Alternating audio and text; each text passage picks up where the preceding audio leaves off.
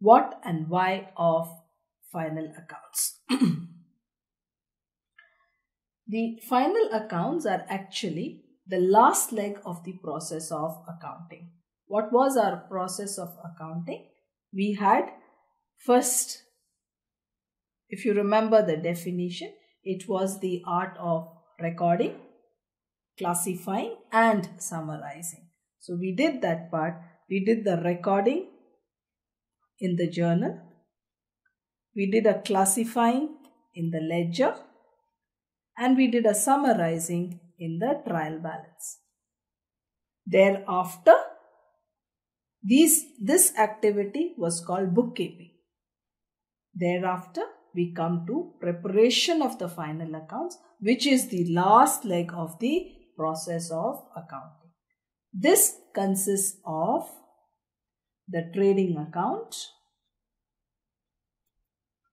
and the profit and loss account. What does the, this is actually nothing but the income statement. It is called the income statement which is split into the trading account which gives us the gross profit and the profit and loss account which gives us the net profit. What does the income statement do? Tells us the results of the year, the results of the operations of the trading activity during the year. we know the net profit or the net loss. And we prepare another statement which is called the balance sheet, the income statement and the balance sheet the income statement and the position statement. What is a balance sheet? A position, the financial position as on at the year end, as on a particular date. It will consist of the list of assets and the list of liabilities. we will discuss the accounts of sole proprietors under two headings. One is for trading concerns and one is for non-trading concerns or manufacturing concerns. In case of trading concerns, we will have the trading account and the profit and loss account which together is nothing but the income statement and the balance sheet. So we have an income statement and a position statement which is the balance sheet. Income statement comprising the trading account and the profit and loss account.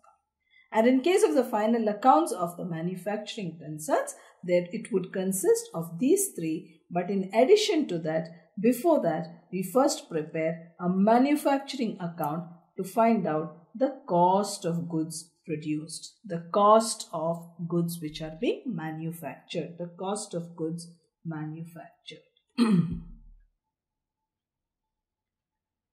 so the final accounts of the sole proprietors is the last leg of the process of accounting and consists of the income statement and the position statement. We will discuss final accounts of trading concerns, which is just trading account, profit and loss and balance sheet.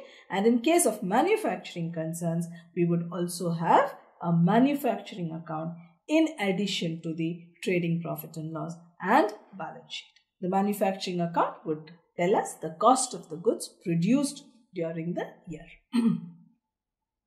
the final accounts of trading concerns or non-manufacturing concerns. Like we said, these final accounts consist of a trading account, a profit and loss account and a balance sheet. So what does the trading account give us? The trading account as I had as we had discussed before trading and profit and loss will tell us the results the net profit or loss the results of the operations of a business the trading account gives us what is called the gross profit. Gross profit is nothing but the sales minus the cost of goods sold. gross profit. Trading account is prepared to ascertain the gross profit which is nothing but sales minus cost of goods sold.